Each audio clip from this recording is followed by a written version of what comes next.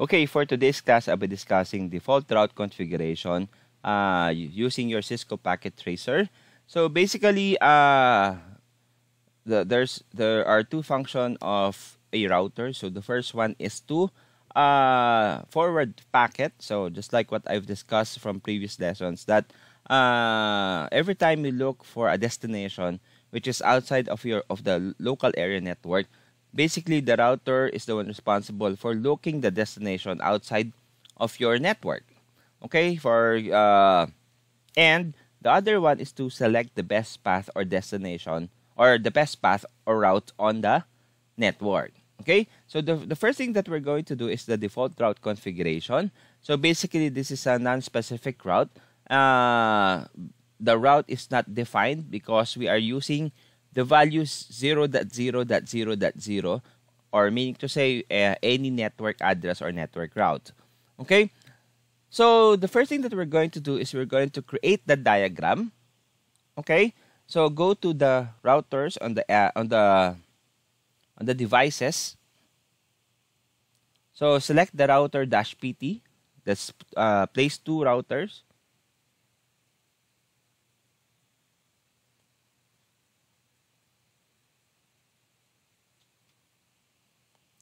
Okay, so the other uh, the, the other two devices are computers. Generic computer.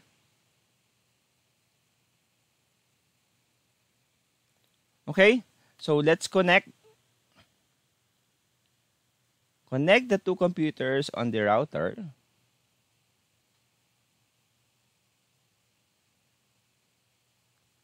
Okay, so just make sure that the the cable is connected to fast ethernet. So basically uh the you have to know the port where you connect the device. So because that is important when configuring in uh, in a Cisco device okay?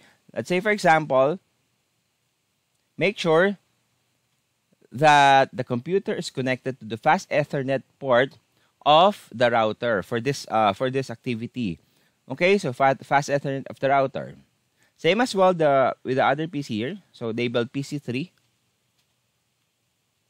Okay, make sure it is connected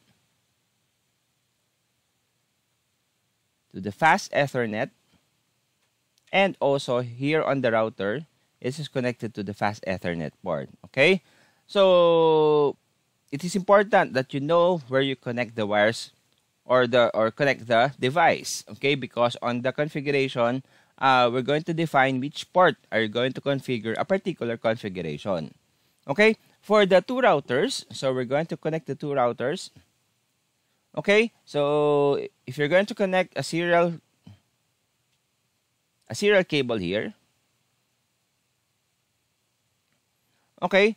So make sure this is connected to serial 2 slash 0 Okay, but technically you can choose different uh, port, but for you for for to be able to follow the discussion or the demo, so basically you have to connect it to the to serial 2 slash 0 and same as well with router 3 or the router the second router here which has labeled router 3 connect it also to serial serial 2 0 Okay?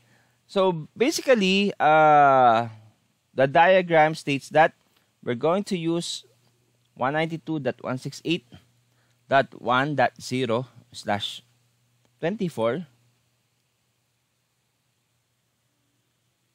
for the network here. So meaning to say from PC2 to the route to router 2, this is the network addressing.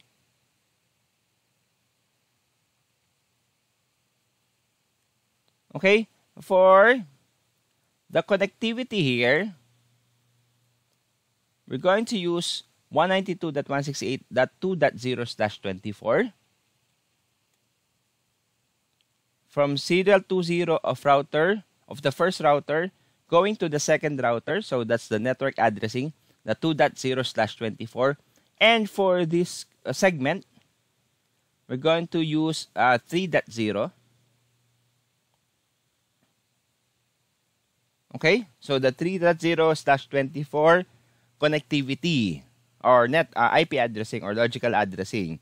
Okay, as you can see, uh, if this is uh, if the if this computer will connect to the second computer, which is labeled PC3, uh, they have different network address. So meaning to say they are on different networks. So this uh, uh, we have to configure the router so that the packet will be forwarded from this network going to the other network or the network network address 3.0/24. Okay, so let's start first by assigning IP to the first computer. So click on the first computer. Okay. So click desktop, then IP configuration. Okay. So the connectivity is 192.168.1.0. So we're going to use, or the IP addressing is 192.168.1.0 slash 24. So let's assign the IP address 192.168.1.2. So I've used 2 because the 1.1 will be will be configured on the router, on the first router or the gateway.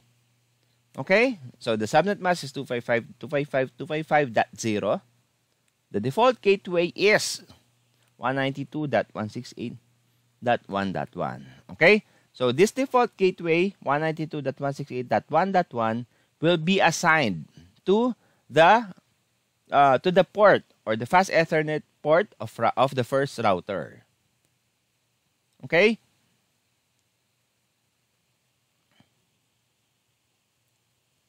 So open router. So click router, the first router. Go to the CLI. Okay, if you'll be asked, continue with configuration dialog. So uh, we're, we're not going to use the wizard. Just say uh, click no. Okay. So first is we're going to go to the uh, global configuration, enable, then configure terminal. Okay? So we are now on the global configuration mode. Okay, so the next thing that we're going to do is we're going to configure an interface. Okay, so the command for uh, uh, assigning an interface or a port is interface. Okay, so the first port that we're going to configure is the fast Ethernet. The fast Ethernet of the, the first router so that is fast ether ethernet 0 slash 0. Okay, enter. Okay, so the IP address that we're going to assign is IP address. The command is IP space address, then 192.168.1.1, which is the default gateway of the first computer. Then the subnet mask of this one, 255.255.255.0. Okay? So, the first thing that we're going to do is go to the interface. Okay, on the global configuration mode, type interface space fast ethernet 0 slash 0. Then assign the IP address using the command IP space address 192.168.1.1 then the subnet mask 255.255.255.0. Okay? So the, the IP address and the subnet mask is on a single line configuration. Okay, so we have assigned the IP address 192.168.1.1 uh, 255.255.255.0 to to the uh, to the router's uh, fast Ethernet. Okay, as you can see, the link is still disabled or uh, is still down. So basically, uh, in routers, in Cisco routers, you have to uh, make the port active. So basically, you just have to type no shutdown. No shutdown. So uh, we are referring to interface fast Ethernet. We assigned IP address 192.168.1.1 255.255.255.0 subnet mask and we may we activate the port by using the no shutdown command and press enter. Okay. So next thing that we're going to do is we're going to configure the serial 2 slash 0. So this is the port of uh, the first router. And as you can see, the link between the first router and the second router uses the network address 192.168.2.0/24. So for the serial 2 slash 0, we're going to use 192.168.2.2.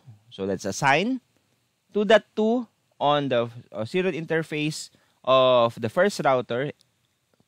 Ah, sorry, 2.1. So we're going to use that uh, the IP address 2.1 for the serial interface of router 2 or the first router. Uh, and the second router, uh, which is also uh, using the serial port 2 slash 0.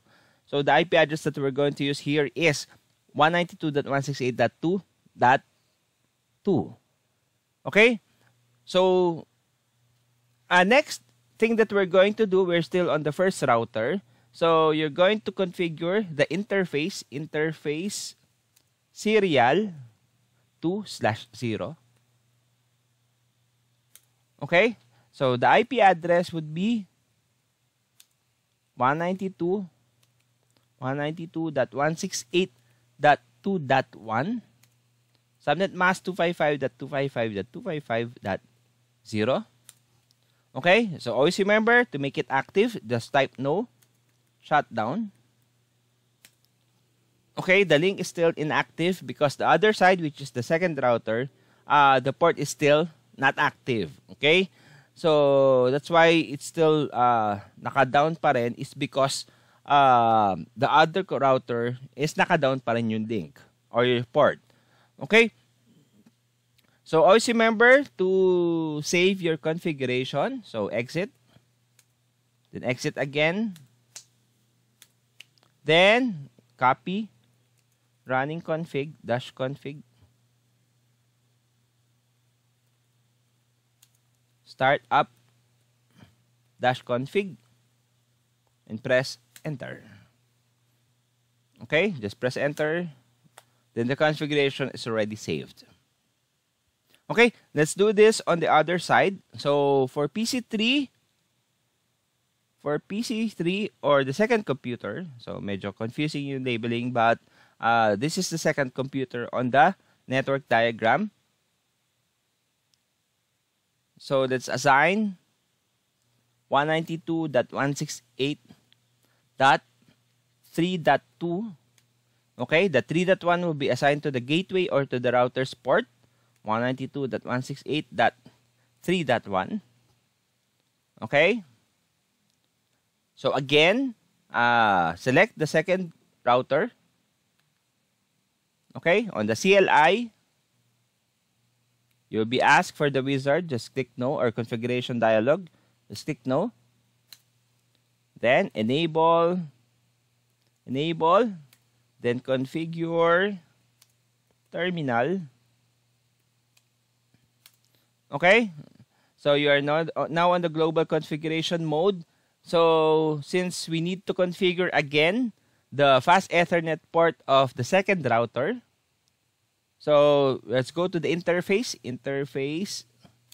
Fast Ethernet 0 slash 0. IP address will be 192.168.1.1. Ah, sorry. That's 192.168.3.1. 255.255.255.0. Okay? So the 3.1, 192.168.3.1 is the default gateway's IP of the computer and that is assigned to the fast Ethernet port of the second router. Okay? Just click enter. Okay? So next is again uh, to make the port active, click uh, type no shutdown.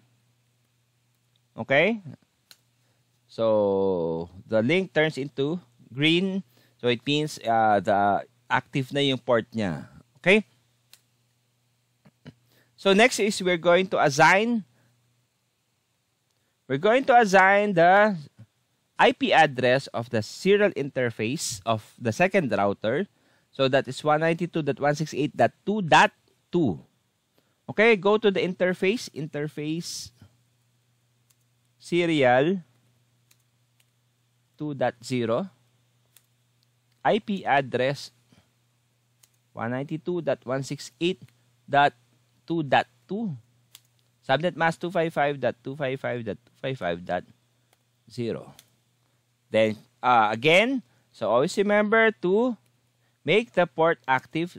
Click no, type no shutdown. Okay, so all of the links are active. Okay, so basically, uh, you you uh, we've we've already configured all of the IP addressing. But if you're going to check if mapiping nyo na from one computer to another, so let's say this is uh 192.168.1.1 and the destination would be this computer. This is 192.168.3.2. Uh, sorry, this is 1.2 and this is 3.2. Okay, let's so let's try. So on the first computer, command prompt, then ping 192.168.3.2. So as you can see, the destination is unreachable. Okay? So what we're go since uh it is un it is unreachable, basically there's uh, something uh something about our configuration. So we missed configuration uh some configurations here. So the the the missing configuration is the routing configuration. So this uh the default route doon napapasok yung default route configuration. Okay? So how do we do con uh, default route configuration? Just go to the router. Okay?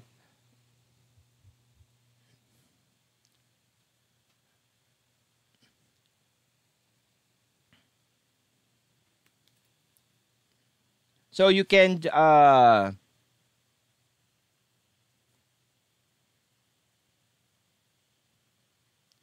uh, you can type IP route 0.0.0.0.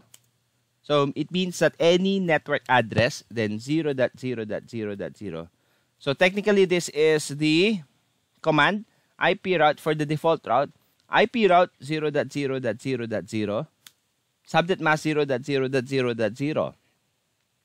Then, if you are configuring the first router, so the next, uh, the portion of this command, the next, uh, the, the next uh, uh, command that you're going to add is the port, the exit port. Meaning to say, if this is your computer, so this is your gateway's IP. So basically, if you're going to configure a default route, uh, where do your packet will exit.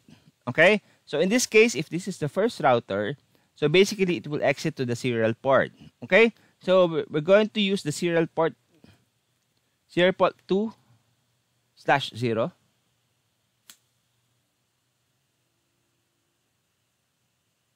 Okay, so uh, sorry, let's go to the global configuration first. Configure terminal. Okay, so make sure that you are in the global configuration mode. So type IP route 0 0 0 0 0 0 then serial 2 slash 0 okay? So that's it. So exit then save the configuration copy running dash config slash startup config. Okay? So do the same thing for the second router. Click the router. Okay? So always look for the prompt. So basically we are still on the interface. So interface configuration. So there's the config dash if. So we can exit, type exit. Okay? So now we are now on the global configuration mode. So basically, if you're confused about the command, sometimes command does not work on a particular mode. So you can always always exit and you can always go back. Okay, so you can always exit uh, and go to an interface or uh, go back again by typing exit. Okay, and try the command. Okay, so sometimes kasi when we are uh, using a command, why is it it's not working on a particular prompt? Okay? Because you are on a different configuration. But but the technique there if it does not work just type exit to go back to the previous uh, prompt. Okay? And try the command. Okay? But for this one uh, the command for the IP route or the default route, uh, it should be on the global configuration. So that will be the global configuration prompt, routers config, then the sharp, then type IP route 0.0.0.0 dot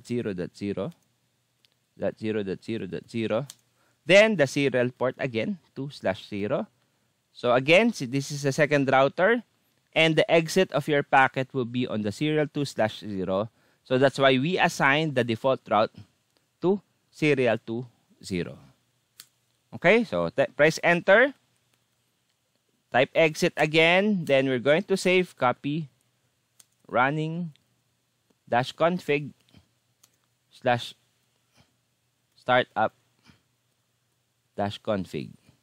Press enter and enter again. Okay? So let's try. So we already added the default route, default route configuration. So let's try to ping from PC2 of the first PC to the second PC.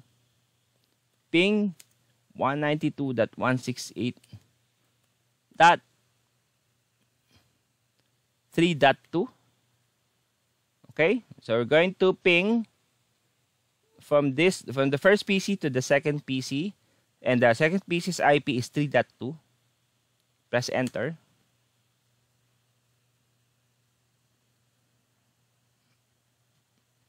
Okay? So you have a first request timeout but eventually there's a connection. There's a reply from 192.168.3.2 so mean to say uh, the routing configuration is successful and basically the packet, if you're going to simulate using the packet simulator,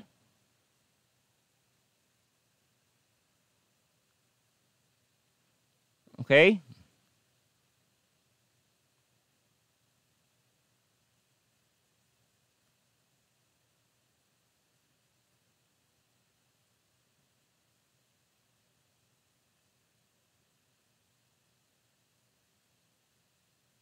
Let's uh let's uh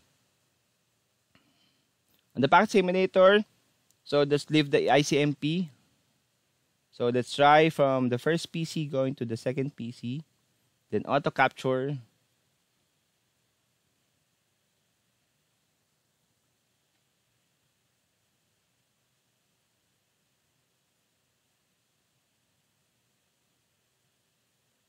Okay, so your packet reaches your destination. Okay, so it means that the routing is successful.